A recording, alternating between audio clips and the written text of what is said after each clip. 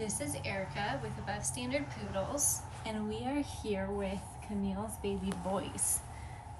So be patient with me. I'm working with a new camera setup, and I think everything will be in the shot, but um, might be a little clumsy while I get it figured out. So Camille is um, a red poodle who has faded a bit. She's a light red now. And Daddy Copper is a dark red poodle who has not faded. He's still just about as dark as these guys are. Um, so if you're looking for a dark red puppy, this might be a good litter for you. So we have this little boy, and he doesn't have any white on his chest or on his feet. So he is solid red.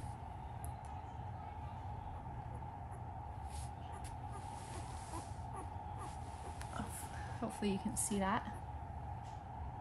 So he's a solid red boy.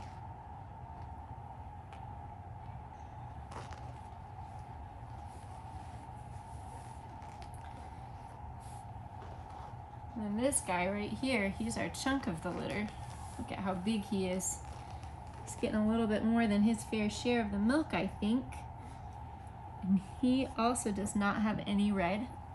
So if you watch the video, I'm sorry, any white. If you watched the video of the girls, you'll know some of them have white blazes, white tips on their feet. This guy again is a nice, beautiful, dark, dark red. He almost looks brown. He's such a dark red. He's just beautiful. Huh. You're so cute.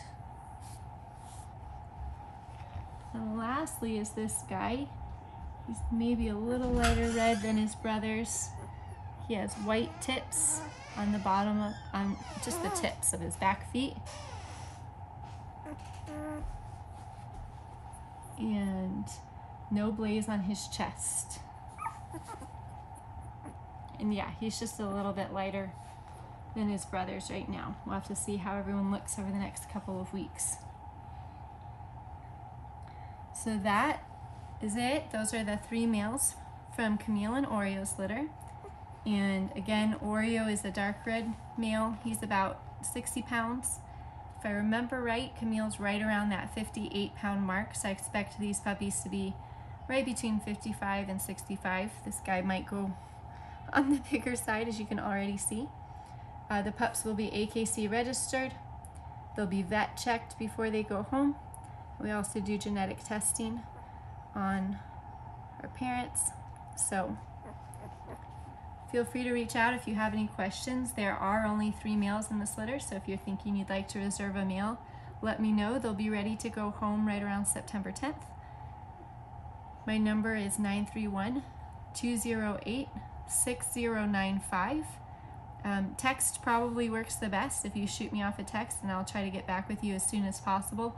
Um, we are he obviously headed into the school year and wrapping up our summer, so um, if I have a real busy day, I might only check my messages, you know, three times that day or something. So if you don't hear back from me right away, just know that I'll be writing you back soon.